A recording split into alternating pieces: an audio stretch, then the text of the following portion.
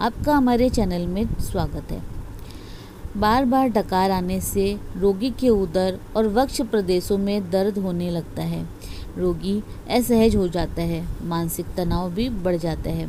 तो इसके लिए तो इसके लिए सौठ, दस तोला विधायरा दस तोला, हरड़, पाँच तोला, भुनी हुई हींग, चार तोला, सेंधा नमक, एक तोला और चित्रक, एक तोला।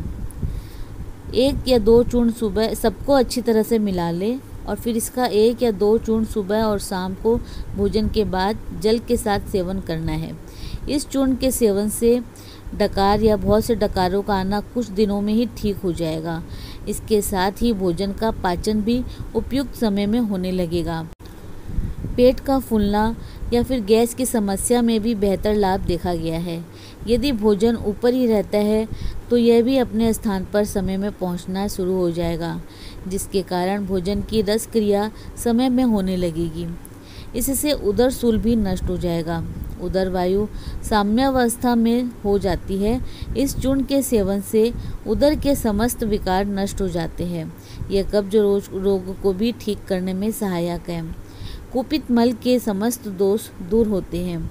इससे उधर प्रदेश का शोधन होने लगता है, यानी कि पेट की, पेट साफ़ होने लगता है। कुछ दिनों तक इस चूर्ण के प्रयोग से पेट की समस्त क्रियाएँ नियमित होने लगती है।